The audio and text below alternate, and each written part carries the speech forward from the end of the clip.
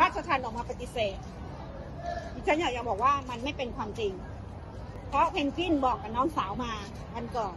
โดยที่ไม่ยอมบอกแม่กลัวแม่ไม่สบายใจ เพนกวินบอกมากับทนายความ แล้วคนที่จะรู้ดีดีที่สุด ก็ต้องตัวเพนกวินเพราะเพนกวินเป็นคนขับถ่ายเอง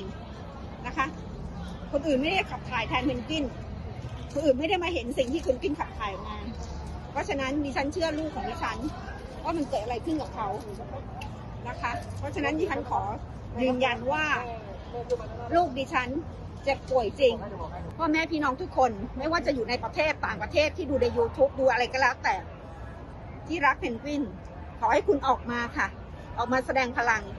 อย่าอยู่เฉพาะในเน็ตอย่าอะไรต่างๆ ออกมาค่ะ เพราะไม่ออกมาพวกเขาก็ไม่รู้หรอกว่าเรา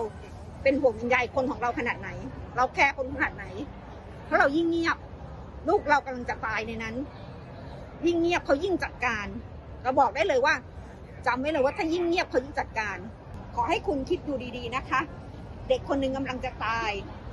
กำลังจะตายจริง ๆ แล้วมันมีผลระยะยาวเขาทุ่มเทขนาดนี้เขายอมแล้วเขายอมที่อุทิศชีวิตแล้ว พวกคุณทั้งหลาย